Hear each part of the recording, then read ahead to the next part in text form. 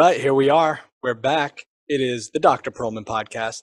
And this is going to be an introduction to the first in studio, if you will, which was actually just uh, recorded in the uh, home of yours truly.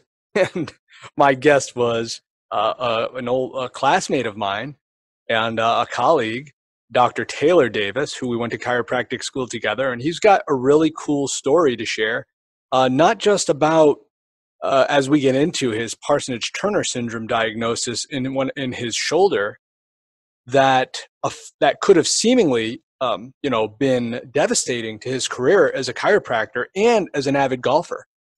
But he has a, a cool story in which he went through not just the progression of the pain and the symptoms and the way it manifested, but the experience within the realm of healthcare trying to get the, the right diagnosis when seeking answers from uh, recommended surgeries to recommended tests to, to time and rehab and various diagnosis to then settle on something to have the answer like this is what it was.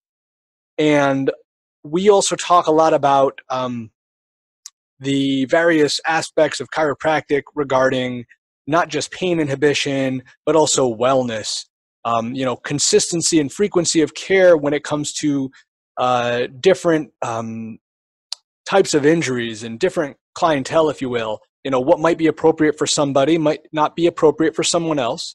And we talk about that. We talk about the role of rehab within not just chiropractic, but rehab in terms of functioning, excuse me, uh, not functional medicine, but, you know, uh, being optimal, like having an optimal functioning uh, ergonomic, you know, body to prevent injury and to understand. Um, we hope to shed light on the efficacy, not just of chiropractic, but some of the uh, the misunderstood concepts. And uh, we shed some light on modern day chiropractic education. And uh, hopefully, you find it fun. This is a much more uh, casual conversation uh, podcast. It's definitely going to be different. Like I said, it's the DFW uh, conversations over coffee edition, if you will, where we're going to get local uh, small businesses and, and and just people within the community who have a cool story to tell. And and it's one of my goals to give people the platform to share their story, to share uh, what they may have that could be beneficial to the rest of humanity. What we're all about here. We're all about health, wellness, truth, and love. You know, hopefully you gain some insight and uh, information that you find useful uh, but without me further uh, rambling on, this is me and Dr. Taylor Davis. Listening to the Dr. Pearlman podcast, and I just want to say thank you. No matter where you are, no matter what you're doing, I hope that this podcast provides you with some education information or maybe some inspiration in some way, shape, or form. But at the very least, if you get a little bit of a laugh or smile, then to be honest, I feel good about what I'm doing.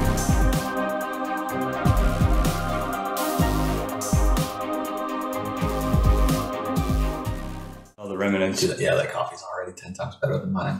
Yeah, that's good stuff. That's right, Michael. We got your back, brother. Yeah. Drinking this light roast with the steam coming off. From Richardson?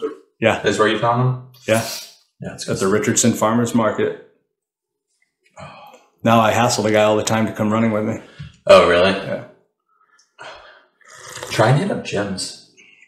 Gyms? Yeah. No, like gyms, like oh. CrossFit gyms or maybe or something like that. Yeah, I did. That all in my area. Like, they, they, all uh, closed. We're not. Yeah, we're not open right now. Oh, well, I went to one in particular, and I found two trainers plus a desk guy.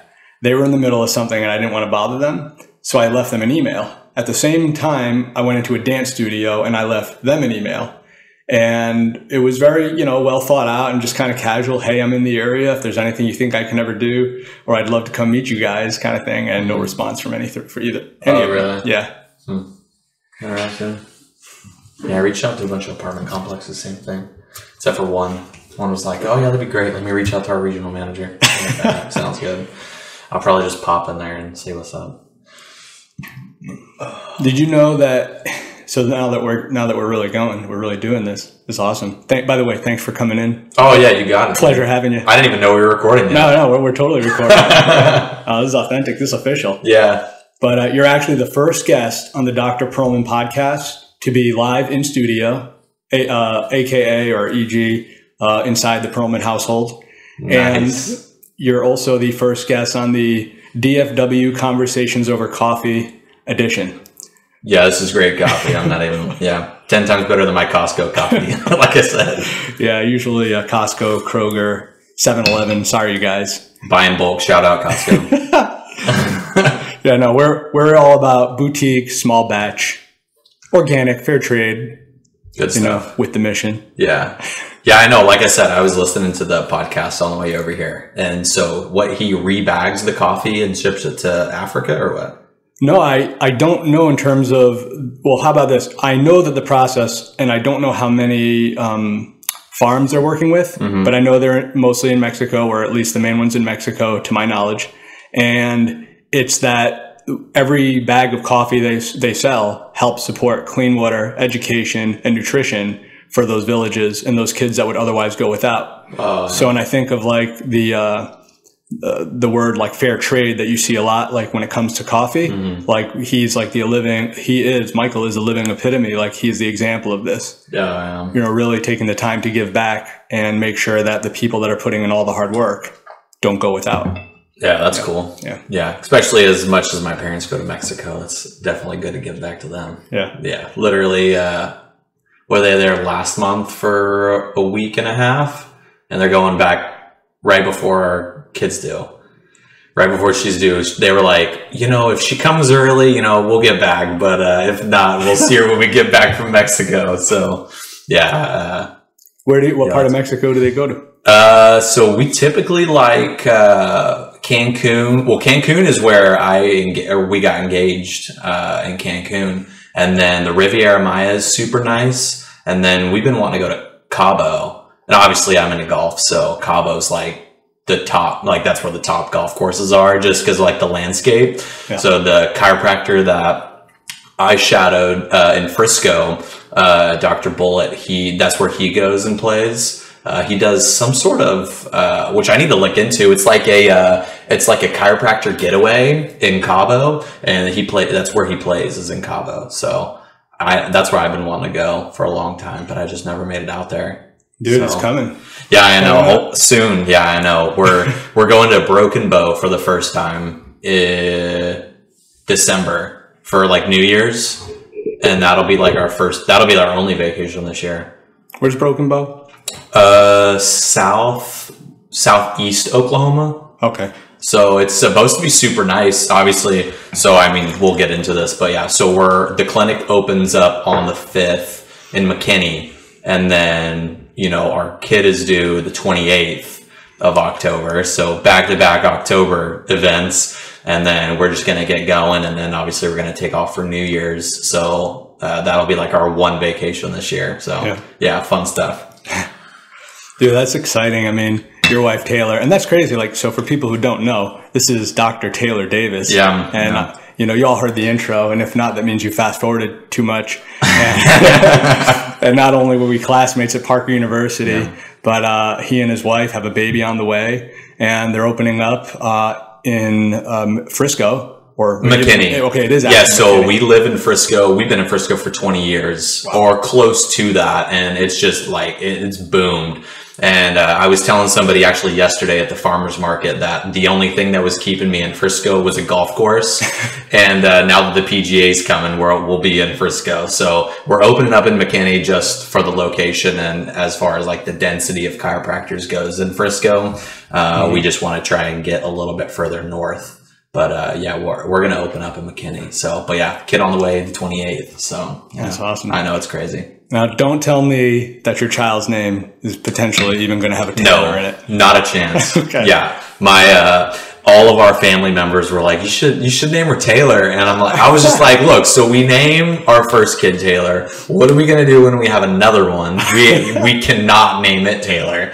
So we're just like, "We're not." I'm, I I was like, "We're not doing it. Not doing. it. Not happening." Like even if it's a boy, not happening. Yeah, wasn't wasn't gonna do it. What, what, what was that? I always wondered what was that like when you met your wife and you all had the, the same name. Was it just a funny thing? Was yeah, issue? it, honestly, I don't remember. I mean, so we met in high school. I don't know if you knew that or not, but we met in high school, and uh, I had thrown a uh, a spring break party at my house while my, my parents were in Mexico, and so uh, yeah, we just hit it off um, and kind of hung out every day that week, and then it kind of just went from there. But honestly, I don't remember. I know like now it'll be different tones. Like if it's if I get like more of like a firm Taylor, so they're probably talking to me, or they call me Doctor Taylor, which I don't know. I still find kind of weird calling myself Doctor, but it is what it is. And um, yeah, they she's just Taylor. It's like a nice, like sweet Taylor. Yeah. so yeah, so that's but yeah, everyone always I don't it's never I mean, I guess we both look and then that's kind of like the weirdest thing. The first time that it was weird though, when we were in Hawaii on our honeymoon coming back and uh, or actually no, it was the day after she called the insurance company for some reason to like some for something and she said her name was Taylor Davis and that was the first time I was like oh snap like that, that that's my name and like that's her name now too is that that was the and that was like the day after we got married. That was kind of weird but yeah that was it. It was yeah it was funny Yeah, that was always that was always really cool to see like Taylor and Taylor. yeah And now there, there- there's the story. And now you are Doctor Taylor. Yeah, it makes yeah. It, makes it uh, easy to to uh, the, the distinction. Yeah, it's, yeah, and it's kind of it's kind of easy for uh, as far as uh, marketing in our area as well, getting our name out there. Like I was saying at the uh, the the trade days in McKinney that we were at yesterday, it was easy. We're just like, yeah, Taylor and Taylor, and people are like, oh, Taylor and Taylor, that's easy to remember. Yeah. So uh, yeah, that's kind of a nice little trademark or whatever you want to call it, kind of a plug for the clinic and Taylor and Taylor. So Heck yeah, I would never forget that. Haven't forgotten it. no, yeah. So yeah, everyone's always like, yeah, Taylor and Taylor. So yeah, it's kind of it's been kind of nice. Uh, you know, there's obviously good and bad.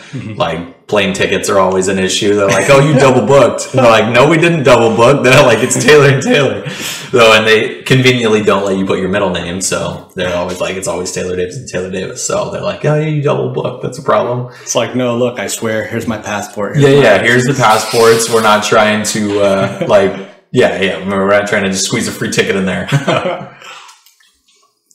but yeah, it's um, yeah, it's been crazy, man. Nine years. It's been good though, and now we're kid, new business. It's been a big year. COVID.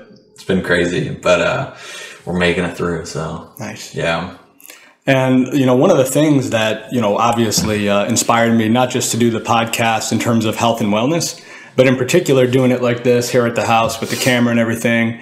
It's all about. Um, well, I mean, I feel everybody has a story to tell, and like that goes without saying. Some more maybe interesting than others, but in particular, when we were in school, uh, well, we'll get into that in a minute um, with the shoulder diagnosis. But you have like a cool background story because you weren't like on track, you know, back in your college days, your No. first choice career to become a chiropractor, no, and here you are. Yeah, so yeah, it, it was uh, it was interesting in that I I always knew I wanted to be a business owner. My my parents owned a landscape company, and uh, I I always knew I wanted to own something, and you know. I always, I always worked from 15 to, I mean, I've never not had a job. I'll put it to you that way. And, uh, nobody, you know, I felt that I was never paid what I was deserved. And, you know, I got into the golf industry when I was uh, in high school. Uh, I played select soccer for a long time and I'd always get frustrated at people, you know, that they mess up. And so that's when I picked up golf and I was like, if I mess up, it's on me. And uh, so I ended up getting into the golf industry in, in high school. What, kinda- what is what is that? Sorry to interrupt, but what does that mean? Getting into the golf industry? so like just I guess I thought that I wanted to run a golf course. Okay. Like maybe buy or build a golf course or something like that. And uh, so I worked at a few country clubs and um, my uh, I saw how much my head pro was working. Basically, the guy that runs the golf course, or at least the golf shop. He did the lessons, uh, seventy hours a week, maybe eighty hours a week, sun up to sundown, six days a week. I was like, I'm not doing that. Like, that's just not gonna happen. Especially making maybe fifty thousand a year. It's like not happening. So you know, I. I, all what I remember is, you know, I was laying in bed one night and I was going to UNT uh, in Denton, And uh, the next day, I had taken a kinesiology class because I was always into working out, you know, health and fitness, or you know, whatever you want to call it. And uh, the next day, I, my kinesiology class, there was a recruiter from Parker that came, and uh, I was, you know, I was like, interesting. I knew my parents had gone to a chiropractor, but I had never, I'd never been to a chiropractor. I went one time for my foot and he was like, yeah, like, you know, like probably just, you know, let it rest. And, you know, it, it did end up, you know, going away or whatever. But, um, that the, the only time I'd ever been to a chiropractor. Mm-hmm. And so I started doing some research on YouTube and, um, I was listening to your podcast on the way over here, another plug, and uh, same thing. Came across, um, I think it's Dr. Ian, the guy in uh, New, New Zealand, Australia, Australia. Yeah, yeah, yeah. So I came across one of his videos on YouTube. Um, I think I got sidetracked. Yeah, a recruiter from Parker came to my kinesiology class in UNT, and I went home that night and started looking up YouTube videos and came across Ian uh, or Dr. Ian or whatever, Gonstead Chiropractic. And this guy was literally hunched over, like couldn't walk. Like, you know, he was probably six four and he, he was like, you know, walking into the clinic at probably five five, yeah. and uh, you know the video just went through kind of his exam and, and the adjustments and that was just a rabbit hole of videos. There was one guy that like couldn't breathe and he had like all of this like paraspinal edema and he adjusted him and it was just like, and I was like, holy crap, dude, what the heck's going on? So I, uh, I was like, dude, this is like, I want to do that stuff. Like, that looks so cool. I wonder, and, uh, I wonder if any of the, the schools have given Dr. Ian any commission. Dude, he needs commission, yeah. man. He need it because it sounded like that last doctor, the same thing. Like, she came across a Dr. Ian video yeah. and was like, rabbit hole to like, wait a minute. It's like you're already knowing maybe you want to be in some kind of a healthcare industry. Then yeah. you see how much you can do and yeah. then you see this guy and you're like, I can make that big an impact. Yeah. And uh, yeah. Yeah. So I uh, rabbit hole down all of his videos. The yeah, I mean, I can just yeah, like I can play it in my mind. I'm like, dude, I want to do that stuff. And so I, uh, you know, I was kind of a crap head in high school and college. Like I was a business major, so I didn't study anyway. So I was just like, man, it's like it was gonna be easy. I'll just go to chiropractic school or whatever. And they were like, well, you have two geology courses, so you should probably get some like science under your belt. So I was like, yeah, you're probably right. I should probably like get some extra courses or whatever. So I uh I ended up finishing at UNT and then I, I went over to the undergrad program. And I did you do the undergrad or no with Dr. Perryman? Yeah. So I did, so I did those courses or whatever. Um, and, uh, that, I mean, I think that honestly was the only reason I was able to get through chiropractic school. Like I, I didn't study in college, high school. I wasn't worried about it. I was just like, you know what, I'll like, I'll pass or whatever. Yeah. And, uh, they were like, no, nah, I'm like, this is like a doctorate program. I was like, what are you like, what are you talking about? Like, it's like, like, this is a three and a half year program. And I was like, okay, like, yeah, you're, you're probably right. I should probably do some extra courses. so I, that's my, that, I, I think that's why I made it through chiropractic school, honestly, was that undergrad program at Parker, the, with Dr. Perryman yeah, he probably saved me multiple student loan payments uh, in the future if I didn't take his courses with failing classes through school. So yeah. Yeah, and a lot of people don't know that. Not just about Parker with their uh, prerequisite kind of prior to the three and a half year or three yeah. and a quarter year, whatever we want to call it, uh, curriculum at Parker, but that you can actually come from a background like you where you how much did you get a four-year degree prior or were you in the midst of getting a four-year yeah degree? i had like a semester left and uh, yeah that so like i was like what the heck am i going to do with a bachelor's in business like mm-hmm. what am i going to do with that and so i was like nah I'll, like I, am fine i'll just transfer over uh, but yeah dude like that that was the coolest thing for me that i could enter chiropractic with not having the full bachelor's degree and they like you know like they were like if you do these prereq courses and you you know get b's or whatever um, you know you'll be able to get into the school yeah. and uh, so i was like all right like done. I'll like that's what I'll do, and so that's what I did, and you know ended up getting in, and you know the rest is history. But that that's the coolest thing for me is that you can have any sort of background and get into chiropractic and kind of find your you know if you will like niche mm-hmm. inside chiropractic, and that's like your foundation or whatever.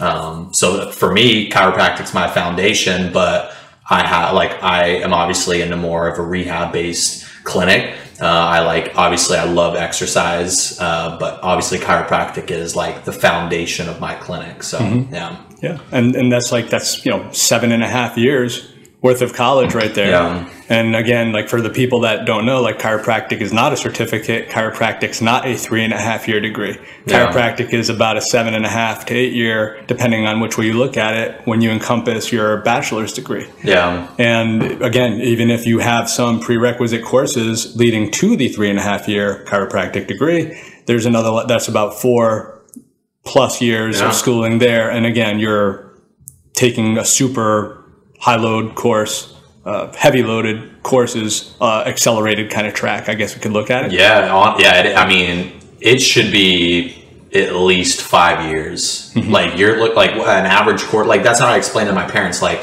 an average college course load is 15 hours. We were taking 25 to 35 hours in three months. That's right. Like that. It's it was insane, and that was the biggest thing for me. Like going back to the whole undergrad program at Parker, like I had no intentions of studying. I thought I was just going to go through the program and it would be like all cool and, you know, I just get through. But come to find out, like you have to learn, like I had to learn in the undergrad program at Parker, like I had to learn how to study. I had to learn the bones. I had to learn the muscles. I had to learn the physiology before I even got into the program. And so that's what made, you know, anatomy with dark, like I, I studied, I can't say that I didn't study, but I definitely, you know, breezed through anatomy fairly easily because of that undergrad program at Parker. Oh, for sure. Um, but yeah, it was, yeah, it was crazy. Yeah, those uh, repetitions when looking at things like anatomy and physiology, I think some people think that they're they have this knack and that there's uh, some people are smarter than others. No. I mean, I'm sure we could match up uh, or sorry, test every individual's IQs that went through fucking grad school. But it's the repetition and yeah. the hard work and just taking ownership of it that in the end will get you through those kinds of classes. And yeah, it's just, yeah, I mean, it's the same with, I think, the body. And there's nothing better. Like, it was crazy because, like, I I explain chiropractic to people and getting it like the reason to get adjusted is time and repetition mm-hmm. and like not even thinking about it. My wife on our website put time and repetition. Like that was like a slogan that she put. And I think it applies to everything, especially school in general. It's just time and repetition. You have to put in the hours yeah. to learn what you want to do. And it's the same with the body. Time and repetition with the adjustments, with the exercises, with being intentional about getting better. And that's what it takes. But, oh, yeah. yeah. I was actually, that's funny. I was going to say, like, that's a perfect segue into talking about this. See, I think that there there's this big misunderstanding. It's a misconception when somebody's hurting or has some kind of a disorder that they need a diagnosis for. I don't know if it's if it's something going on with uh, abdominal pain, let's say, uh, mm-hmm. uh, just a consistent dull burning. But they've but they've taken all the exams and they can't diagnose something, right? So like a functional disorder, if you will. They've, they've done all the imaging. If they have uh, migraines every day, if they have persistent sinus infections, if they have, you know, what me and you see more of like chronic lower back pain, mm. chronic neck pain, shoulder pain. And I, even I, when I first got into practice, I was like, yeah, you know, we want to resolve this. I want to make a big impact. We're going to diagnose it properly and we're going to resolve this. And what I started noticing is that really there's this how should we say the truth of it may be depending on the the chronic nature of the injury oftentimes mm-hmm. the damage that's been done is we're managing it right? Yeah. And that kind of ties back into what you're saying time and repetition. Yeah. It's there's going to be a certain amount of frequency of care that is needed to kind of manage this. Mm-hmm. because right if nothing else I, I, I, don't mind, you know, if you think something uh, other than my opinion on this, please, is the chiropractic adjustment, if nothing else, inhibits pain mm-hmm. at the level of the cord to then stimulate the, the, the cortex yeah. to say, you know, yeah, let's let's modulate this pain. Let's mm-hmm. change the way we perceive this pain. Yeah. Along with all the biomechanical benefits. benefits Yeah. at the level of the joints that we adjust. Yeah. And it's and it's just incredible because then we don't need the corticosteroids. We don't need the uh, surgery, quotation finger surgery that's going to fix everything because, like we see now, lots of people who have surgery continue to have pain. Uh, so we're not calling it the be all and end all. Again, just to summarize, like you just said, time and repetition. Yeah. I think that's a real important message for people to understand, especially with like these chronic injuries that they mm-hmm. never quite got over yeah. Um, it, it's a process. It's it's it's a lifelong management, Yeah. um, oftentimes, and I just want people to know that that's kind of the truth. You know, Yeah, it's a. I think it's a mentality shift from what we currently see as Western medicine mm-hmm. being, you know, symptomatic relief. And while that may be good for people, like you know, there's plenty of patients that I've had to come in and and treat. And you know, it's one adjustment every month, or you know, like they throw their back out every six months or whatever it may be. But I believe that, you know, prevention, time and repetition is the best way to go about spinal health and overall health and wellness. Um, and you know, that like, like I put it to people, you don't have to come back every week. If that's what you think is beneficial for you, then, you know, come in and get adjusted every week. I think like for me, getting adjusted once a month is perfect. Like mm-hmm. I, I can like th- that's what is beneficial for me. I think getting adjusted wouldn't hurt every month or every week, but I think I, like every every month seems to be perfect for me, and I can like same same with people out there that see maybe or have that stigma of oh if I go to a chiropractor I have to go back every week. Yeah. While that may be true, like it's totally up to you like it if you don't want to take care of everything like if you don't want to take care of your health if you want to come in and just get adjusted you know when you feel it that's perfectly fine but as far as what we're trying to do we're trying to change that perception from western medicine taking a pill or you know getting one adjustment whenever you feel your back go out mm-hmm. like change that and taking care of things before they get worse. And it's it it, like I have like the patient that comes in, you know, with lower back pain and, you know, they're used to getting a steroid injection and, you know, the pain goes away and they think like, oh, well, that fix it. Well, one adjustment isn't same thing. One adjustment or one pill isn't going to take care of everything. Mm-hmm. You don't just take one pill. You take a series of pills. Like don't expect your chiropractor or your doctor to do one adjustment and take care of everything. like, like I'm just like, I'm not a miracle worker. I want to say I'm a miracle worker, but yeah. Damn you, Doctor Ian. Yeah. yeah. Yeah. There's the pros and cons of everything. You know, Yeah. they come in, they're like thinking one adjustment. is all I need. I just need that adjustment, like I saw on YouTube. Just crack me back into place. And that's it. Yeah. I'm done. It's Yeah. like no, it happens once in a great while, but Yeah, So- it definitely happens. It definitely happens. It's a one and done sort of thing. Yeah. And I'm just like, I don't know what happened. like, it, like, yeah, we did good work today. today was a good day. today was a good day. yeah. That's funny. But yeah, it's um, yeah, it's one of those. Or that I think that's the hardest thing is just changing people's mentality to understand that one adjustment is good, but when you when you put in the time and repetition with the exercises, the adjustments, I think that you can take care of a lot of pain without any sort of pain medication.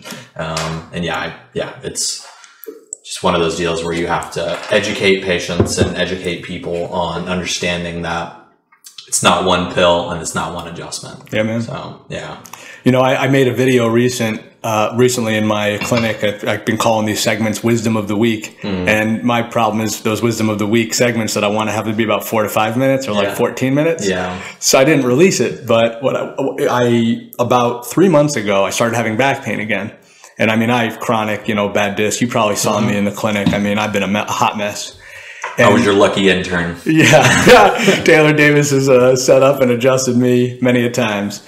Of course, it was always um, His preferred Gonstead what, what do they call it? Uh, legally recorded. Yeah. What, what do we have? A patient. Uh, what do they call it? EHR. oh yeah, It was always documented. yeah, always documented. So one of the, the things is like I always had this mentality, much like we talked about. So I'm not gonna like beat it to death. I was like, yeah, my adjustment held. My adjustment should hold. I had this mentality that adjustment should hold. And what I learned recently from uh, one of my mentors is he he would say you gotta communicate to people that have these like chronic injuries. Uh, and this goes for, for anyone. Like if you're constantly dealing with something, if it's a chronic situation that's really altering your life, the uh, frequency of care that you receive of something that is effective mm-hmm. is ultimately going to be the uh, determining factor of how you feel. Yeah. And I, it's not like one day I accepted this, but I just said, I've got to do something or I'm going to fall apart. I'm going my back's going to explode in the clinic. It'll be an embarrassment and I'll have to close my doors and my life's over. Mm-hmm. So I started getting adjusted three times a week now for the last three weeks, maybe even a month.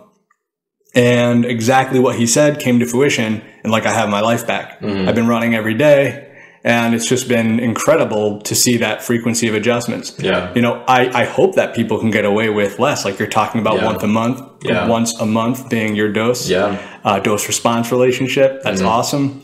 Uh, other people, I hope, I hope less people are in my boat, but yeah. certainly take advantage. People, yeah, people are definitely in that situation, and you know, like actually at the at the trade days that I was at over the weekend, there was a guy that was selling uh, neurostems and uh, he thought I was a pain management doctor. And I uh, I got to talking to him, and uh, you know, I had you know some people are have are too far gone, if you will, and uh, one adjustment every month is just not a reality. Uh, it may be, but some people are too far gone, and yeah. for that, and not saying that you know people out there are. I mean, there's definitely help that you can get, but it may not be you know what you're expecting maybe it's not once a month maybe you do need or really do need one adjustment you know every week or mm-hmm. whatever it may be like people there are people that do require that so oh, yeah. yeah. i mean like for you it seems like you get that flare up and you need that immediate care mm-hmm. for or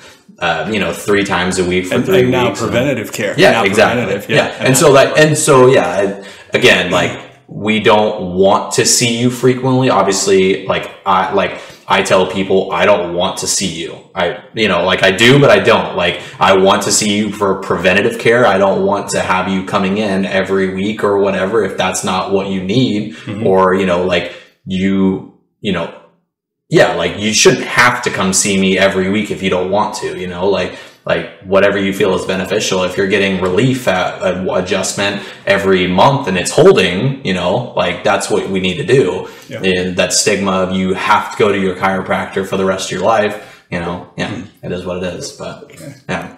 Well, without beating that to death, uh, one of the main things here now, this is why we actually yeah. Know, had you on the show. You have a really cool story within this injury. Something happened mm-hmm. to you and I know there's an ACL injury tear in there. Mm-hmm. I know that there's, you know, the Parsonage Turner syndrome. Mm-hmm. So that's, that's really, you know, what this yeah, show yeah. should be about. I yeah, think that we're going to help somebody out there who's had this. So how's that? First of all, even before you go back to where that began, how is it doing now? How's that? Uh, progressed? it, yeah, I mean, I don't notice it at all, to be honest with you. Um, yeah, I mean, I obviously can't externally rotate my left shoulder, but um, yeah, I mean, I don't notice it all that much. I mean, they're like, I'll go to like pick up like a five pound box or whatever with my left arm and I can't do it. And those are like the one times that I'm like, oh yeah, that shoulder doesn't work all that well. But as far as like adjusting and like, I don't really notice it all that much, to be honest with you. Like, yeah, I mean, so the ACL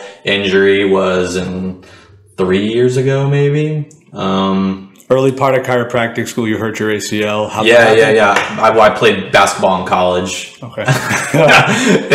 yeah, Parker is just like a whatever pickup game or whatever. But uh, yeah, so I tore my ACL, and then probably well, I did this. So the surgery was like two weeks later. Um, recommendation from the orthopedic surgeon if I wanted to play golf. So yeah, I did the surgery and I mean, no problems other than obviously the shoulder. The knee is perfectly fine. Um, I get like some joint effusion or whatever and swelling, but it goes away. Um, and, uh, yeah, so probably I would say three weeks after, obviously I got like a huge burning sensation in my shoulder and, uh, thought you know I thought I had ended up with like frozen shoulder or whatever, and uh, so like you know I did some exercises or whatever, and went into the orthopedic surgeon, and you know he did like kind of a BS exam, a great doctor, but like he just thought like I was like pinching you know the rotator cuff or whatever uh, with my crutches. And so he did like a little bit of like palpation, did like some orthopedic tests, and Yeah. he was like, "Yeah, you're probably just getting like some tendonitis." Uh, did a steroid injection, and uh, yeah, and the rest was history. And uh, two weeks later, I was like, you know, doing some movements and like picking like just flexion of the shoulder, and I was noticing that my my elbow was kicking out on this side, on the left side, and uh, I was like, well, that's weird. And uh, this was before you know all of the like muscle testing and range of motion chiropractic school, and I was like, well, what the heck's going on? Like I wasn't putting two and two together Yeah. that my internal rotators were like overactive and I couldn't hold external rotation with shoulder flexion. And I was like, what the heck's going on? So I went back into the orthopedic surgeon and he was like, yeah, um, well, it sounds like you have Parsons Turner syndrome. And I was like, well, I, I recognize that phrase or that word from neurology or clinical neurology. It was like, it was real brief. We went right over it. Um, and didn't even cover it. Like it was in our notes, Parsons Turner syndrome C5, C6, and that was all. Like there was nothing else in our notes. And, uh, I get maybe there was maybe a little bit more, but that's all that I remember. And this is the same orthopedic surgeon who that did the ACL Okay, surgery. right. Yeah. and, oh, and, and diagnosed the shoulder uh, Yeah. initially with the tendonitis. yes. And again, like we're sure we're not knocking the guy. I'm not now because you see where I'm going with this, everybody. But he he went in, nice guy, well intentioned. How just if you remember, how long was his exam of the shoulder? Like so it was a re-exam of the knee. Uh, it was probably six, maybe well, probably four weeks post-op. Um, and I was just going in for a routine checkup, and I was like, "Hey, like I'm having this thing with my shoulder. Like I had a burning sensation. I went into the ER. They gave me tramadol. They told me like they took X-rays. Everything was fine. Oh yeah, I guess I left out all that. Yeah. I went into the ER because I woke up. Yeah. I woke up at uh, midnight and like I could not move my shoulder. Like it, like the worst. It was worse. Like it made my knee feel good almost. like my shoulder was hurting so bad. It was worse than like any of the knee pain. And uh, yeah, so I went into the ER. They uh, they took X-rays, gave me tramadol, told me to go back to my uh, or gave me different crutches because they were like, yeah, same thing. Your pinch, like your the crutches are pinching your rotator cuff. And I was like, well, like I know that's not the case because I'm like they're not even touching my armpits. And and you know, it's it's funny. It's like there's always that easy scapegoat Yeah. to keep someone from critical thinking. It doesn't happen all the time. Yeah. But it takes somebody who is really not going to accept that. Yeah. Like you have to be like your own advocate, as we always talk Yeah. about. Uh, but anyways, continue. Yeah. Yeah, like listen, like my biggest thing now is like listening to the patient, and even like doc. I think it was Doctor Tam at Parker. He, uh, I had a patient come in. He was like, "Dude, listen to the patient," and uh, like I kind of got mad at him at the time because I was like, "Dude, I'm just trying to get through this exam and get out of here." Like, you know, like honestly, I was just like, "Look, like let's just get this thing done. I'll write the treatment plan. They're gonna get better with the adjustments, so they'll be fine." but uh, I'll never forget that he was like, "Man, listen to the patient. Like, listen to what they're telling you. Like, you know." And same thing for them. I think that applies. Like, if they would have listened to me, like, I, like those crutches were not compressing that rotator cuff. I told them that, and they were like, "That's what it is." But anyways, yeah. So four weeks post op, I go and after the ER, I go back into the orthopedic surgeon, and they uh, he did maybe maybe five minutes. Uh, yeah, I mean, maybe five minutes. The main reason I was there for the knee, but I told them like, hey man, I had some pretty bad shoulder pain. Like it was bad. And uh, I went in, actually went into the chiropractor though too after the ER. I went into the chiropractor and they just did like some stem. They did some activator. You know, probably should have gone somewhere else, but it was all right. Uh, you know, it took care of the pain. Um, and so I went into the yeah. So five minute exam, in and out. He was like, yeah, just some tendonitis. And uh, you know, later on, I started doing the shoulder movements, like putting through like some functional movements, and figured out that I couldn't externally rotate my shoulder. And so I went back into him, and he was like, all right, yeah, like you probably you've got most likely Parsonage Turner syndrome. and uh, he was like, you know, there's no real fix. There's no surgery. Like you're going to get more scar tissue in your shoulder if we do surgery. Um, and so I was, you know, kind of like, well, shit. Like, what do I? cool. I all right. Sounds good. I guess I can externally rotate my shoulder. I was like, all right. I can't play golf anymore. I can't do this. Can't do that.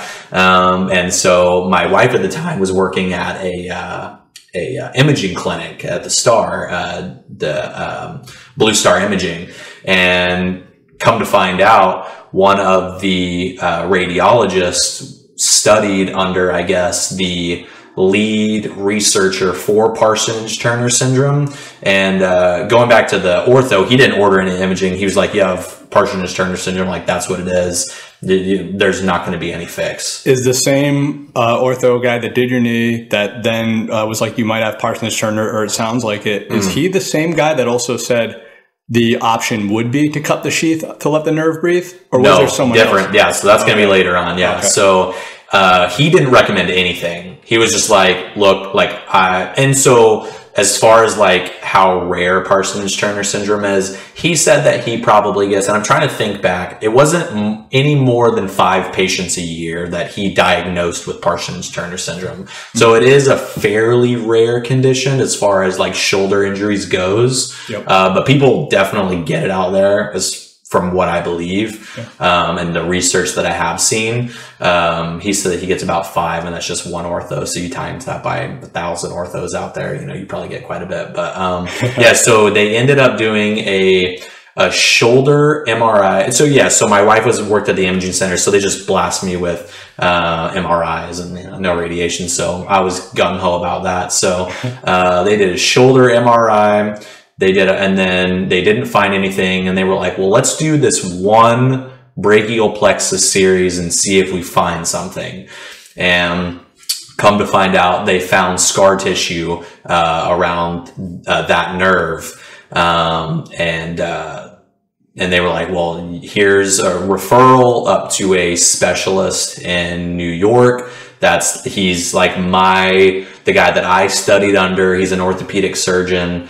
Um, you can go see him. They're doing experimental surgeries uh, to go in and cut out the um, the scar tissue around the nerve. And uh, you know, I thought about it, and I was like, honestly, like as far as like function goes, I can do everything that I want to do. So I was kind of, you know, I was good with how my shoulder was functioning, so I didn't end up doing it. Um, and I really didn't want to go through another surgery because I'm terrified of needles. So I was like, yeah, I'm good. But I did end up, before they did do the MRI, I'm just all over the place with this whole series. Um, before they did do the brachial plexus MRI, I ended up going to um, Dr. Um, he's at the Star. He's another orthopedic surgeon just to get like a second opinion. And he wanted it to go in and cut out the um, the ligament above the suprascapular notch. Uh, he wanted to go in and release, take out that uh, ligament, mm-hmm. and he was like, "That's what's going to fix it."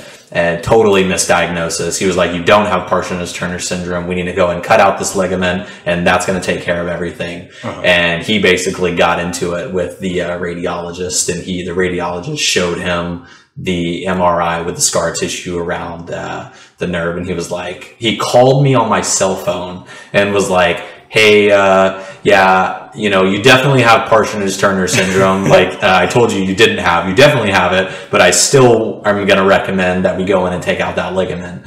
And uh, I'm just like, man, I'm like, I'm good. I can play golf. I can adjust patients. I can do all this stuff. Like I'm not doing another surgery. I'm perfectly fine. Like, yeah. And and you know it's funny. Uh, it's not funny. I got to stop saying that when I go into segues. But so there's an article, uh, really uh, detailed and complete kind of article by a Joseph H. Feinberg, MD, mm-hmm. and I was reading that uh, earlier today, kind of cramming yeah. for the exam. Yeah. So he talked about burning pain, like very overwhelming, like burning pain in the shoulder is yeah. the way it starts. Almost always following surgery, viral infection, and vaccination. Mm-hmm and so you're fitting two of the criteria of, yeah. them, of like you know exactly the way he describes Parsons Turner Parsons Turner syndrome, mm-hmm. also known as idiopathic brachial plexopathy, right? Yeah. And uh, they got another name for it too, like neuralgic amyotrophy. but they talked a lot about the uh, needle EMG, like for diagnosis, and you didn't have that done. Uh, I did. So yeah, so they were obviously looking in um, to the suprascapular nerve to see if that was what was affected, and so that was the two. The main diagno- diagnostic criteria was that e- the EMG that they did, and that was absolutely terrible. But yeah, I came to find out, stuck it right in the teres and the uh, uh, the supraspinatus to check for external rotation, and yeah, it didn't. Uh, yeah, it didn't help or the infraspinatus. Sorry, the yeah the infraspinatus and the teres. Uh, they stuck it right in there, and yep, it was uh it was flaccid. Did not did not work. but yeah, it was uh uh yeah that that was those were the two diagnostic criterias, and so they referred for that, and the brachial plexus MRI was kind of like the last thing to see if there was actually so i don't know if it's that they uh, not every case has the scar tissue or not. I think they don't find it and so they can't just go in and with because obviously you have like for somebody to go in they don't just go in and scope out your shoulder for no reason unless they have really good suspicion that they know what they're going to find and so they had to do the MRI to be able to refer me to a surgeon to do that surgery. So I guess that's why the radiologist wanted to see if he could find the scar tissue and he ended up finding it, which was the crazy part. He was like, dude, I didn't think I was going to find anything, but it actually like we found it. So, um, but yeah, I, yeah, just wasn't ready to do the surgery. I could, like I said, I can golf, Yeah. I can work out, I can do all of the things, you know, besides externally rotate my shoulder, you know? And it's cool. The uh, one of the other diagnostic criterias was that you said you actually had the injection for tendonitis, which is without the needle uh, EMG. Yeah. That's what they'll do. They'll treat you for tendonitis or something like adhesive capsulitis. Yeah. And then when that does Doesn't not, work. or doesn't work, they'll kind of lean towards that Parsons. drug. Yeah, that's the the biggest thing that we yeah, like their differential diagnosis or and I don't want to say them as they're bad, but Yeah. like certain doctors differential diagnosis, they'll already be treating you before they differenti- differential diagnose. Right. So like they're they're weeding out of certain diagnoses is well let's treat that if that doesn't work we'll weed that out and we'll treat that if that doesn't work we'll weed that out mm-hmm.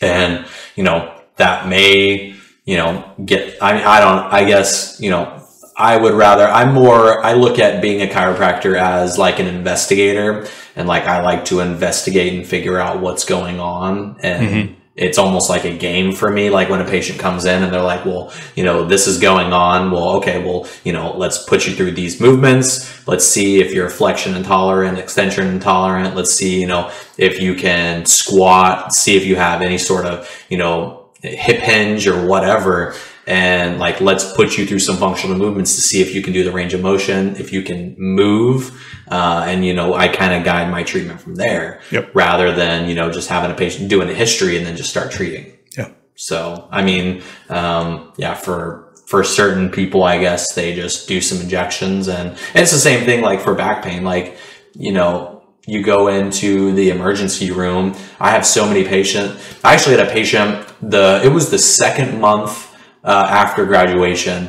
Uh, i came in and a patient came in with severe back pain. She didn't want to get she really didn't even want to get adjusted. Her daughter like dragged her in was like like just like come in like just get adjusted and see if it helps. And she came in one time. I adjusted her. She said pain from like an eight down to maybe a five or a six um, then i didn't see her again uh, she ended up going to the emergency room. She got uh, pain medication, you know, all, all the good stuff. Yep. Um, they wanted her to do a uh, MRI. They wanted to order an MRI, and she ended up coming back in to see me uh, two weeks. And uh, she was like, "Well, I'm just not feeling any better. I'm just not this. I'm not that." And I'm like, "Here's the treatment plan that I recommended: two times a week for two weeks. Let's like get you on the right path, and then we'll go from there."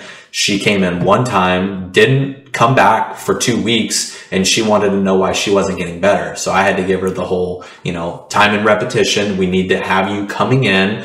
The adjustment helped. Like you told me it helped. You just, you don't want to come in. Like you either want to get better or you don't want to get better. Yeah. Like there's no reason for them to take an MRI. She had no radicular symptoms. She, her pain was in extension. She was extension intolerant. Flexion was perfectly fine. So I immediately rule out disc, you know, as like disc irritation almost immediately mm-hmm. if somebody is pain and extension.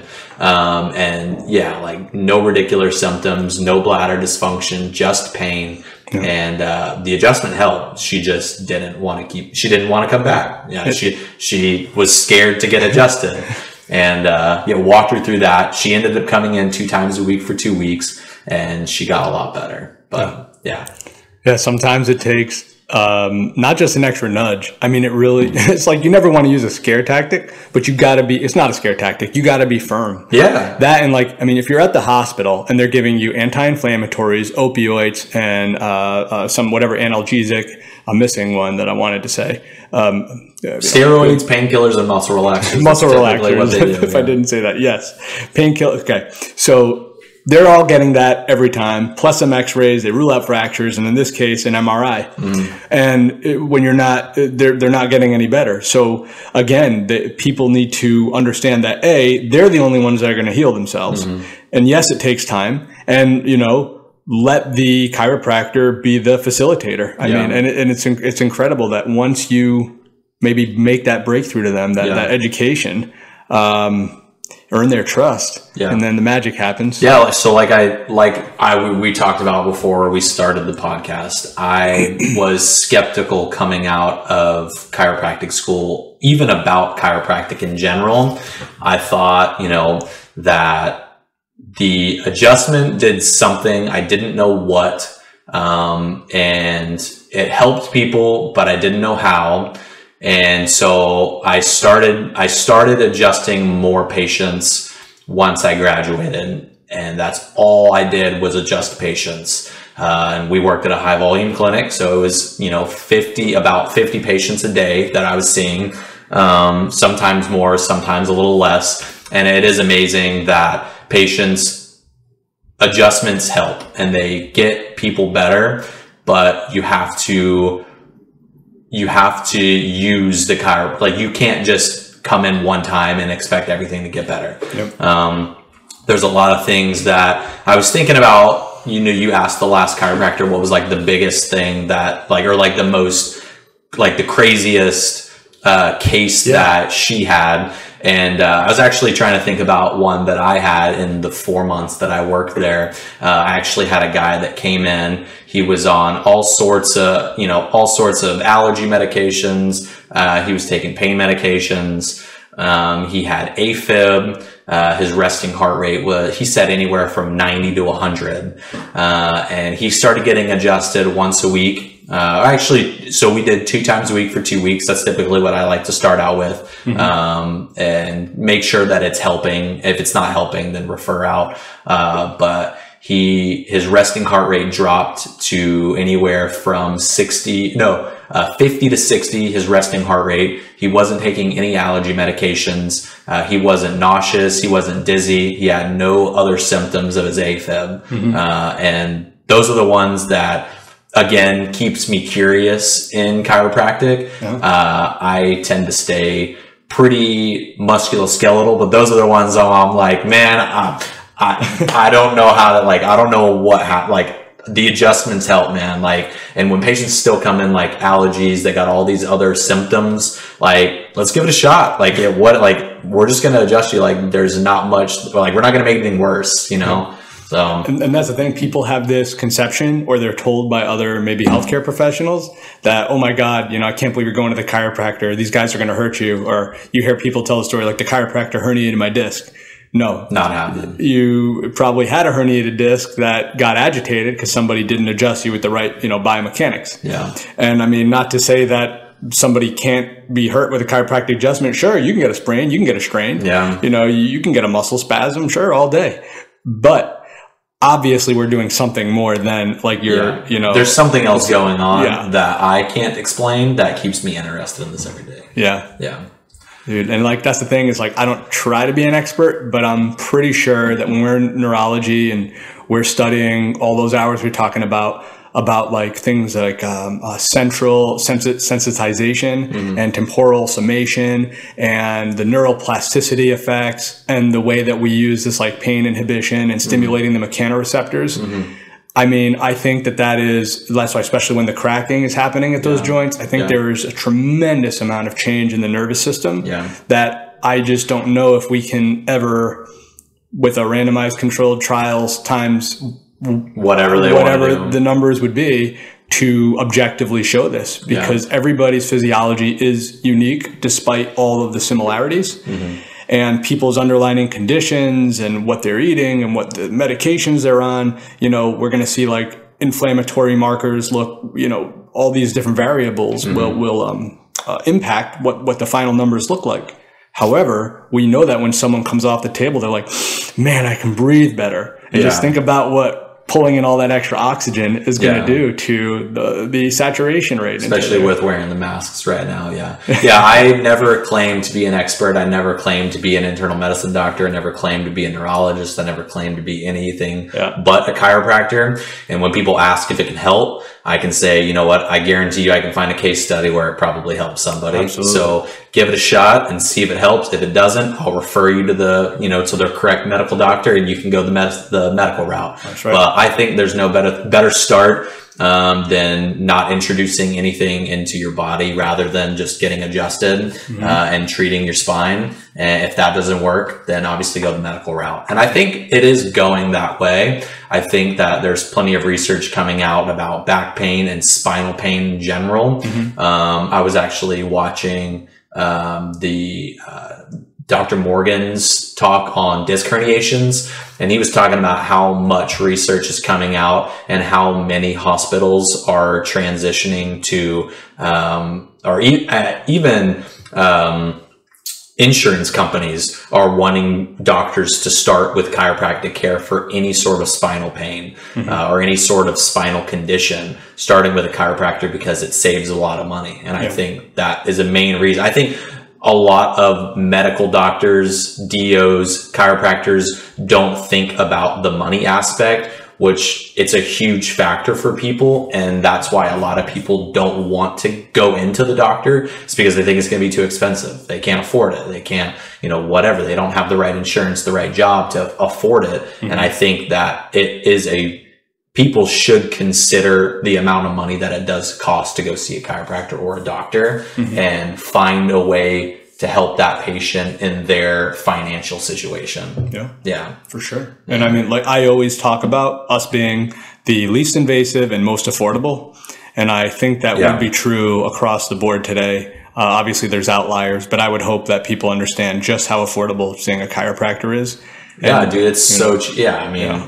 40 bucks. Like, you're going to spend that. You, you, go to the emergency room, Yeah. come to see me, tell me what the price difference is. Right. And like, It's going to be astronomical. Go tell somebody, like, here's my insurance card. Yay, I take your insurance. And oftentimes it's, well, you haven't met your deductible Yeah. or your copay is this. Or in a couple of weeks, um, your insurance or, or they get a actually they'll get the letter the patient will get the letter in the mail that says it didn't cover all the Yeah. the, the, the cost but but not to go down that road you know uh, two One little, one little tidbit because I have to. yeah please So there's a uh, emergency room up in Frisco. I'm not going to say the name, but I went in and got the COVID testing, and my brother and sister-in-law went in to get the COVID testing. Uh, they got a bill in the mail, or they didn't get a bill, but they got a a um, I don't know what.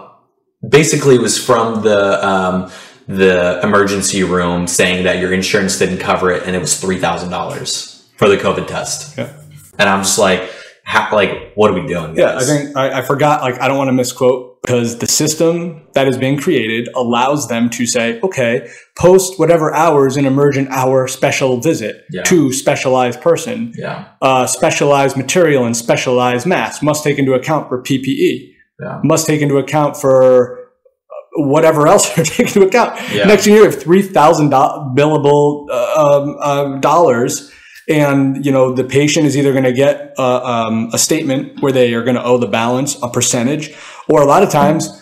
Because I heard this story about United Healthcare, you know, with the ten thousand dollar antibody test, they paid for all of it, But still, like, how the fuck did they get away with a ten thousand dollar, you know, antibody test? And United Healthcare is like, sure, go ahead, we'll pay the whole thing. Yeah, let's pay it. Yeah, I don't have no idea. It's amazing though. Yeah. Yeah, I we'll see what happens with this whole COVID stuff. Yeah. I'm ready for it to be done now. I'm super excited about it to be done. I mean, honestly, it's like people are so worried about the number of cases, and I haven't. I usually won't ever talk about this, but fuck it.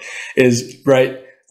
All these cases means two things. One is a lot less people are getting really, really sick, which means we're heading towards some avenue of herd immunity. I would hope, Yeah. if that's appropriate to say. I personally think that it's so. We must be developing antibodies. We must be getting much less sick per person who's catching this because the viral load is decreasing uh, per anyone who may or may not still be spreading it, whatever. Yeah. And as that's going on, we're just continuing to test. So the more testing that becomes available because people are scared that they're contributing to mass amounts of fucking death, which is not the case. Yeah. Uh, yes, there's a lot more of these positive cases, but what are the deaths? The deaths have gone down. Yeah, they're going down. Yeah. I think we're headed in the right direction. Yeah. I think it's good. I just can't. I keep telling everyone it's going to be done in November. yeah. I I think we can all agree that Something's going to be uh, done in November. something's going to happen. Red, blue, who knows? Something's going to happen. Yeah, I think it's going to be. I think it's going to be crazy for about two weeks after the election. Mm-hmm. Either way it goes, and then we'll be good. I think it's gonna. Yeah, we'll see what happens. So uh, back to the your Parsonage Turner diagnosis, Mm-hmm. and you obviously didn't get a surgery. You're like you can still play golf, still adjust. Yeah. How did it affect your golf game? Uh, it hasn't affected it too much. So I play. I play left-handed. So my left arm is kind of my trail arm. Yeah. Um, so I don't, I don't, it actually benefits. The only reason I say it benefits is whenever I set up to the golf ball and I take the club away into my backswing, it should be a smooth transition to your backswing. And so if I can't pull my left arm and externally rotate my left shoulder, it has to go slow. So I can't jerk it back. So I would say that's the only way it's benefited me, Yeah. but it definitely hasn't hurted me. I mean, obviously I don't play that much, um, or I don't play too much anymore. Um, so, but my short game's terrible, but yeah, but it hasn't hurt. I would say it's benefited me. That's the only way. But yeah. Now you've been playing golf left-handed then your whole life. Yeah, I, I yeah, I don't even remember. I uh, so like I said, I played select soccer for a long time, and then in high school is when I picked up golf pretty heavily. I my parents invested quite a bit of money into golf lessons, and so um, I got fairly good pretty quickly. Um, uh, j- practice and uh, time and repetition. And uh, yeah, so I got good fairly quickly, and uh, I uh, just always played left-handed. Everything else is right-handed besides golf. I guess I bat left-handed, but any sort of swing Yeah. is left-handed, which is kind of weird. But yeah, And had you been playing golf right-handed, this would have completely fucked your game up. Maybe. I definitely I feel like would have swung slower because it would have affected my lead arm in my downswing. And so I feel like I wouldn't be able to swing as fast, uh, which obviously club head speed is a big factor with golf. Um, I don't know. It'd be interesting. I don't know if it would affect me or not. Yeah. Yeah, it'd be. I guess it. I don't know. I would imagine you. Well, certainly in the acute stage, you would have. I mean, it would have almost been impossible in the acute stage. Oh, yet, yeah. Yet, even a few weeks, a month after, I, I would imagine that as you were going through a particular portion of the Yeah. swing, is when it would have Yeah. somehow impacted you. Yeah, it probably would have. Luckily, I guess it was in my uh, left arm and not my right I arm. was say, God loves you. Yeah, I guess so. He wanted me to play golf. Man, I was ter like honestly, I was terrified. I uh when once I got my ACL surgery, I was like, dude, I like literally can't do anything. Like I was like there's no way that I'm going to be able to play golf again. There's no way I'm going to be able to run again, work out again. Like my knee was like it was just jacked. And uh like surgery is definitely for some people like they're definitely getting better at surgery especially uh, acl surgeries are pretty common so they can have a lot of practice i guess if you want to say that Uh, but yeah, I mean, my surgery went really, really well. I can play golf, I can run, I can work out, I can, you know, I did CrossFit. Like I can do everything that I want to do. Yeah. Um, so I, you know, I- but I was scared for a while. I was like, dude, my knee, how the heck am I going to get back to normal after the surgery? Yeah. So I can see where people do get depressed and I can see how people do get addicted to opioids. Luckily, I was in chiropractic school when I got my surgery because I what they prescribed me so much medication, oxycodone, Percocet, like literally, I was taking like I was taking everything. I was, you know, and um, I remember Aaron and Cody were like, "Dude, you just gotta stop taking it." I was like, "Dude, my knee hurts so bad. like, how, what do you mean stop taking it? It hurts so bad." They were like, "Yeah, dude, you just gotta like stop taking it." And I'm like, "Alrighty, man." And it was kind of good too because uh, I, and, I mean, we were in neurology whenever I did my surgery, so I was so high during class. Like, I'm pretty sure people still have some pictures of me just like passed out in class on oxycodone and Percocet. Uh, they prescribed me two doses of oxycodone because it wasn't working. They were like, "Well, let's up Let's the up the dose." dosage. Yeah, let's up the dose. and uh, so yeah, I was so high for like four days. Couldn't poop. Couldn't go to the bathroom. Like, wasn't hungry. Couldn't eat. And uh, they were like, "Yeah, dude, just stop." And so I just stopped taking it. I actually started doing cryotherapy, uh, which I'm a fairly big advocate for now. Uh, Yeah, how what did they did they spray you? Did your did No, your I just just got- go in, in like a chamber? Yeah, so I got straight. I, I went straight in. Um, obviously, you have to wait until the uh, incisions are healed. But yeah, I mean, as far as pain relief goes, I mean, the uh, the cold worked anyway. Like I would put ice directly on my knee, and that was like the only thing that I did do for pain relief.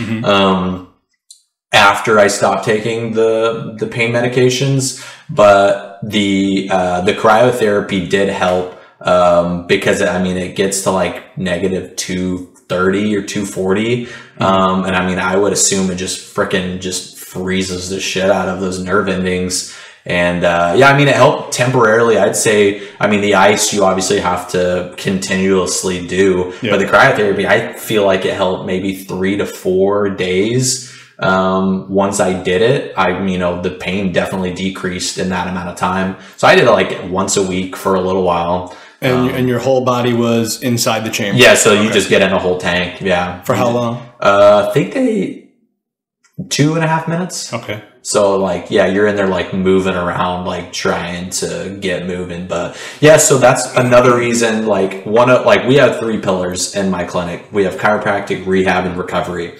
Uh, Dr. Kirk definitely got me into the recovery aspect uh, for athletes. And I think that as I watched watching the video uh, this morning, LeBron James, $1.5 million on um, recovery. And so that's one of our pillars in our clinic is going to be recovery. Uh, obviously, once we get going and can afford the equipment. Um, but I really do want to provide athletes uh, a place to come and focus on recovery, uh, doing the NormaTecs, doing the uh, percussive therapy, doing the uh, the cryotherapy, all that stuff. Yeah. Uh, focusing on recovering and keeping them healthy, Yeah. I think is a huge aspect of sports that oftentimes gets ignored almost. Uh, I mean, I never focused on it. I was never worried about recovery uh, when I played golf and soccer. I mean, soccer, you're literally running probably five miles in a game. And, you know, like, I definitely would have played better, I feel like, if I had some sort of recovery. But, Yeah. yeah. Yeah, and Dr. Nikki Kirk, for those that don't know, this guy's a guru when it comes to sports rehab and, you know, running and uh, training. I mean, he was very influential actually early on in a case that I had. I called him up and sought some in, um, advice, insight, Yeah. excuse me, and it helped tremendously. Yeah. Yeah. Yeah. He, I mean, he kind of, he, I mean, yeah, he got me into the recovery aspect of chiropractic. I didn't even, I mean, like, I didn't realize that there was a sports side of chiropractic, I guess. Like my, fa- I guess, fa- if you want to say our family chiropractor, um, he didn't do too much like active therapy in his clinic. It was really just like, I guess the term family chiropractor is really Yeah. big. Uh, and so he, you know, was fairly straight chiropractor. He did like the, you know, the intersegmental traction and the, the tens units or the interferential. And then he did the adjustments and some soft tissue work. Um, so I wasn't really exposed to that, to that. And even the, the chiropractor that I went to in school for my shoulder didn't do rehab or recover, like anything like that either. Mhm. So he was kind of a big, um, I guess, you know, proponent or like, like he spoke highly of doing rehab and recovery as well as chiropractic. And that's kind of how I've modeled my clinic. Um, after him is incorporating that recovery aspect and helping athletes stay healthy through the season. So yeah, I would say he's definitely a fairly big guru. I'm never going to tell him he's a guru just, you know, because I like to give him shit. But Yeah. besides that, yeah, I would say he's definitely a very smart uh, person when it comes, very smart doctor when it comes to neurology and recovery. So Yeah, who loves to bust balls yeah, and play around, make jokes, and really creates a great environment for feeling, you know, for students especially to feel comfortable. yeah, yeah. I think uh, yeah, he definitely helped. I mean, I remember the one. There was one case where uh, I would, I think it was my first like walk-in patient or whatever, uh, and it was a, a came in with a, a calf strain. And and he literally we uh, it was a Spanish speaking patient, so he came in and helped me with the re- like the the report of findings and everything. Uh, but before that, uh, he made me write out this treatment plan for this patient's calf, and he uh, he literally told the patient like, "Yeah, you're going to be fine. You don't need to come back. You just need to let it heal." But he never told me that while I was writing the treatment plan. So I read this whole treatment plan, put in like all this effort, and uh, he made me write this like full on treatment plan. And he was like, "Yeah, she's not coming back, man. Like I told her she'll be fine in 14 days." and so I had this treatment plan. I'm like, well, "What the heck am I going to do with this treatment plan?" Then he was like, well, "I guess it was good practice." that was my uh, first, yeah, interesting If moment you, if him. you want to graduate, get used to it, son. yeah, yeah, pretty much. It was, yeah, it was. He was, yeah, he was definitely influential when it came to all that stuff. But yeah, it was fun working under him. I definitely, definitely never a dull moment. That's for sure. Yeah. But uh, yeah, another tidbit. I don't know if I told you or not, but I had never been adjusted prior to going to chiropractic school. I think I heard that. Yeah, Yeah. yeah, never got adjusted. You're part of that subset where guys like me who had been adjusted for 10 years and were like, chiropractic is a miracle. Yeah. When you come in there not getting adjusted, I'm Yeah. like, what the fuck? Yeah, How the first, hell? the uh, the first, um, I guess, like the first adjustments that I got were uh, actually activator, uh, or like I guess torque release technique.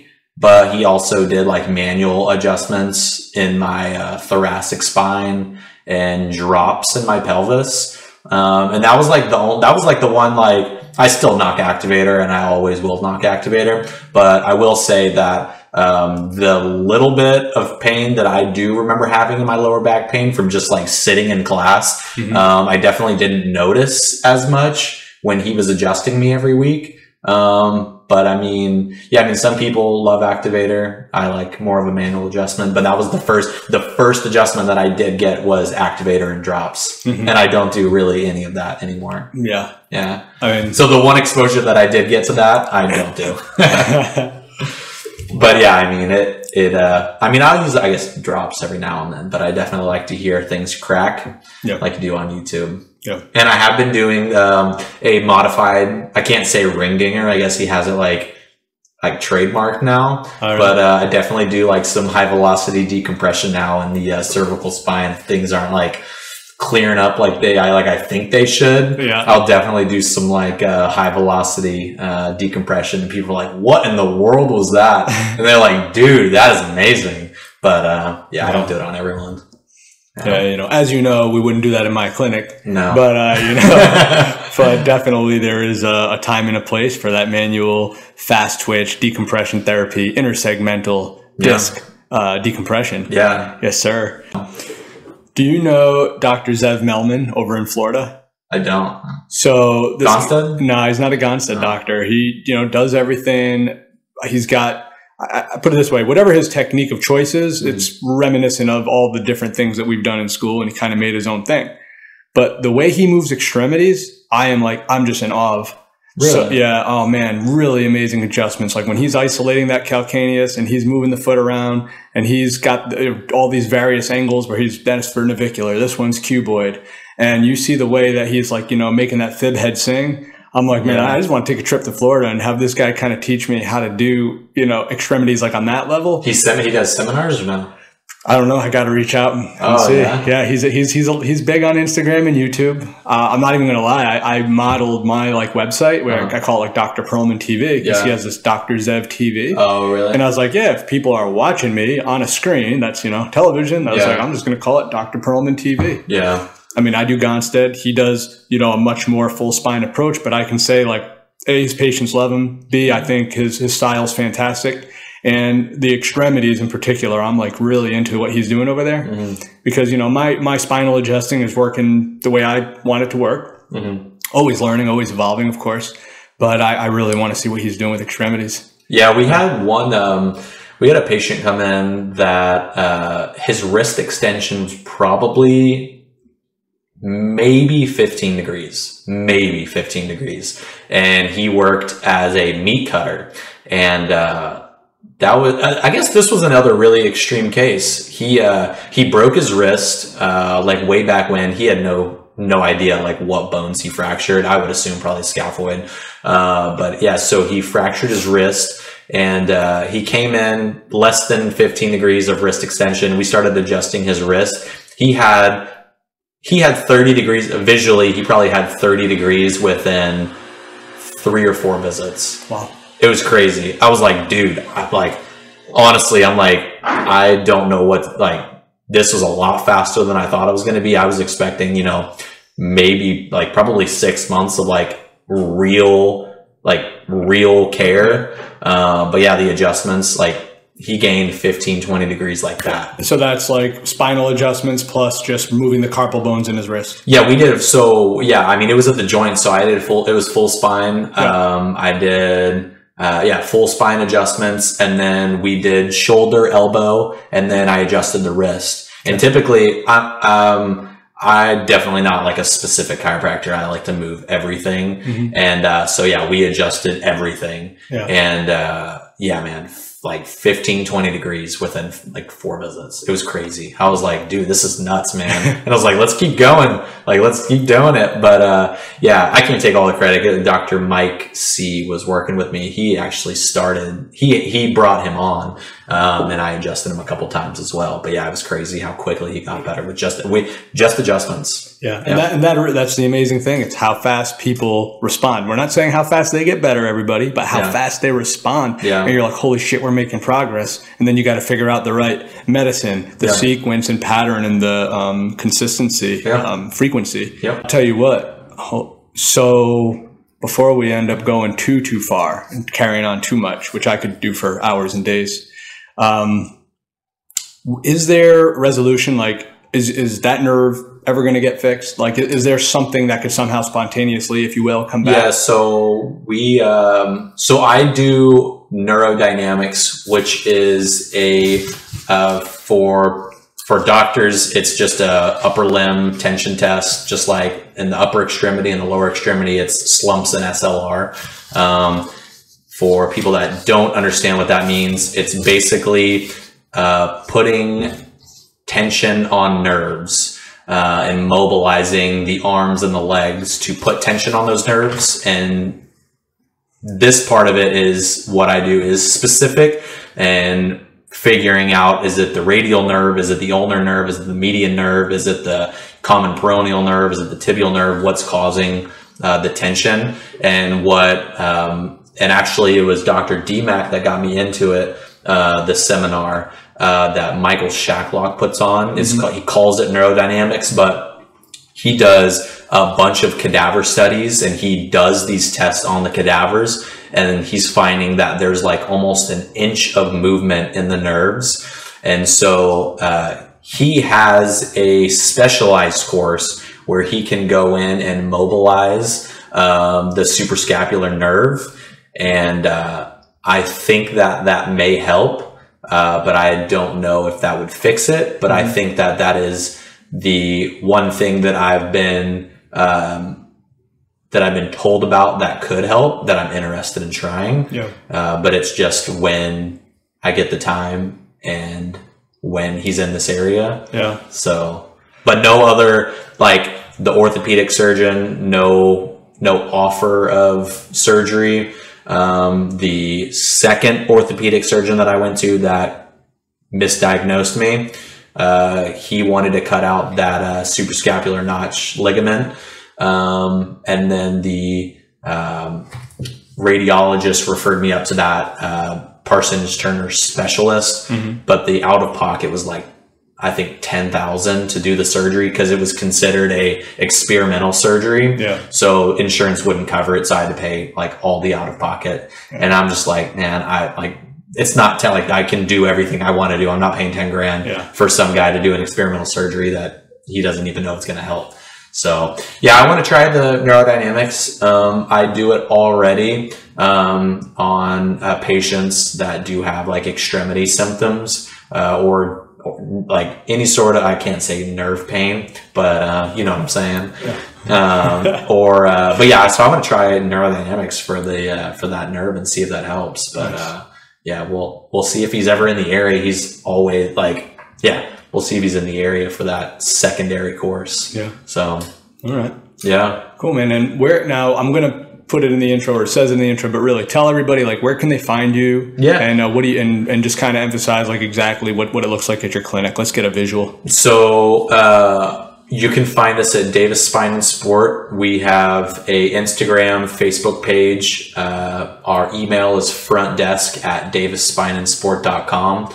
Um, if you're looking for a sports chiropractor that does um, a if you're looking for to get everything adjusted, we're gonna move. I move everything. Um, yeah, that's kind of what uh, our clinic is modeled after. Uh, more of a full spine diversified adjusting.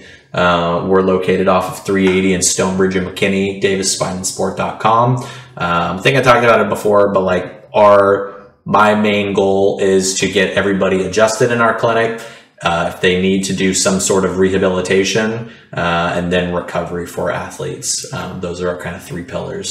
So- And are you going to have anything like? Uh, are you going to have decompression? Are you going to have uh, cryotherapy in your office? Yes. Well, yeah. Thanks, COVID. But uh, yeah, we were we are going to have decompression. Okay. Um, we're that's been on hold just because of the equipment. Yep. Uh, but yeah, we'll we'll eventually have decompression. Uh, we've been looking at a few different units, but they're all I, I'm pretty sure there's back order or whatever they call it. But um, yeah, we've we'll have so whenever you come into our office. Um, we're going to be doing functional movement screenings, orthopedic tests, neurological tests, um, and then every patient obviously will get adjusted on the first visit. Um, we do have intersegmental traction roller tables. So my obviously uh, the chiropractor, the family chiropractor that I went to, I modeled my clinic obviously after his as well. So we do do uh, the intersegmental traction tables. Um, the Russian stim, interferential stim combo, uh, all that stuff. And then we have an exercise room that will eventually be converted over to the recovery room Yeah. uh, where we'll have like the cryotherapy, the NormaTecs, the percussive therapy stuff, all that good stuff, stretching stuff, Yeah. like rehab equipment, all that good stuff. So Dude, I'm super stoked. I'm happy know. for you. I I, know, mean, man. excited. Can't Yeah. wait to see it. October 5th, it's coming in soon. It's Oh, coming. Yeah, I know.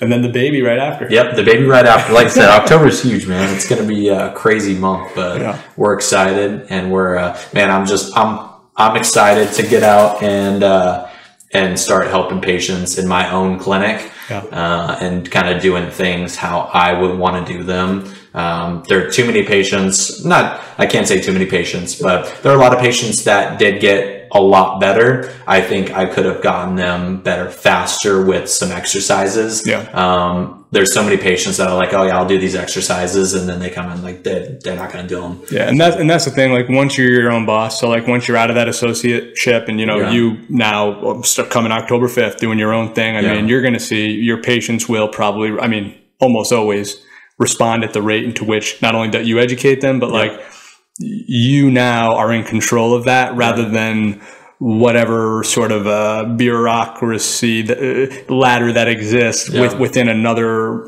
uh, company that's Yeah. not yours. Yeah, you have to whatever that. I mean, you treat on that doctor's terms. Yeah.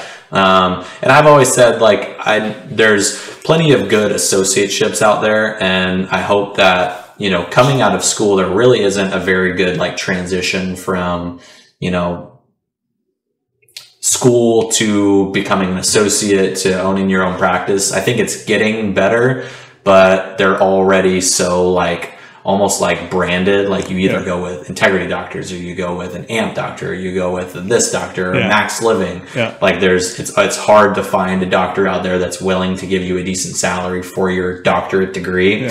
And so that's one thing that I hope to accomplish is providing somewhere for doctors or a doctor to come and make a decent living if that if they don't want to open up their own practice pay them a decent salary and give them the opportunity to help patients how they want to Yeah. um, and not have to like you know just work to death and not make anything it's that's that's i i hate seeing like people like work a lot and not you know benefit Yeah. from their doctorate degree i think that's crazy yeah For sure. but anyways I got to give you a shout out. You know, you were one of the first people that introduced me to like when I watched you doing intermittent fasting. Before Oh, I- yeah. before I even started my keto journey. we didn't even touch on that Yeah. yeah i can't say that i'm in the best shape right now because my wife but uh i have to blame her a little bit uh just because yeah she's pregnant. But um yeah man i gotta i'm getting back on that. We took uh our uh uh, maternity pictures yesterday. I was like, "Babe, I'm fat. I need to lose. I gotta lose some weight." I was like, "It can't be that fat dad." So yeah, I'm uh, I'm about to kick it into gear today. Today's Monday. I'm yeah, I'm gonna be that guy that's like, "Oh yeah, it's a new week, new week, new me." New Year, New Year's resolution came early. Yeah, Before the clinic, before the baby. yeah, so I gotta yeah. Uh, the intermittent fasting, I uh, when we when I was in school, it is good, man. Like I would fast basically from sundown to noon, Yeah. and uh, the one reason that I liked it was I could eat like I could eat more in a short period of time, so I could get full. And so, like when I just have breakfast, snack, lunch, snack, dinner, like I would never feel satisfied or get full. That was one thing that I liked about intermittent fasting that I could obviously like somewhat eat what I want, but I could definitely get full. Yeah. And that was one thing for me that like I tried keto, and uh, obviously like you're a huge proponent for keto, Yeah, man. but uh, I just couldn't get that much fat, man. I could I couldn't even have much fat. I, like I like avocado, I like the eggs, but so much of that, I don't know. I just got burnt out, I guess. I'll give you my keto manual. I'll, I'll be printing it out here before you leave. All right. Um, you see if that's like, oh, I didn't know you could do this, or oh, I never thought of that. All right. And I think that'll help. I mean, if someone really wanted to I'm be- keto, yeah, I'm better at if you just give me something to do, I'll just do that. Like Yeah. exercises. That's why I like CrossFit because like I could like I didn't have to think about it. I could just like like get my car, drink my pre-workout, go to CrossFit, and then there was a workout and I did it and I left. Yeah. Like rather than just like going to the gym and I'm like, all Figuring right, out so it's Monday, I'm gonna do back and biceps. um, all right, why like all right, let's just do these four and like these three or whatever. Mhm. And so, yeah, I'm, I need to, just give me something, I'll just do that. Yeah. Are you still CrossFitting? No, I stopped doing it. Um, I just didn't want to pay the money to do it anymore. like, I love CrossFit. I know people not CrossFit. Like, I did get back pain. I'm not going to lie. Uh, but it subsided and like, I probably after two weeks of doing it, like I was perfectly fine. I could, Mhm. you know, pick my weight that I did, do the snatches, do the cleans, do the, you know, clean and jerks, whatever. Mhm. Um, yeah, I mean, I can't lie. I did get back pain, but uh, yeah, I mean, it went away pretty quickly. Yeah.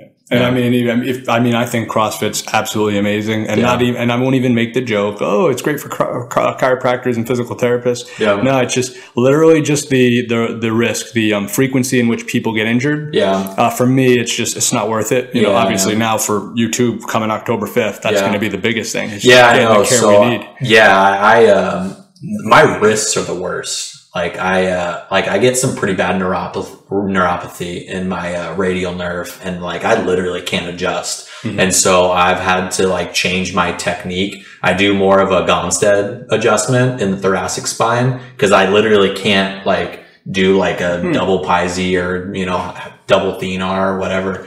I just do a gon- I literally Gonstead adjustment. And that's what I do. Well, you know, uh, Dr. Brittany McGentrick, McGetrick, excuse me, how I butchered her name Yeah. on the last podcast. Brittany, I am so sorry.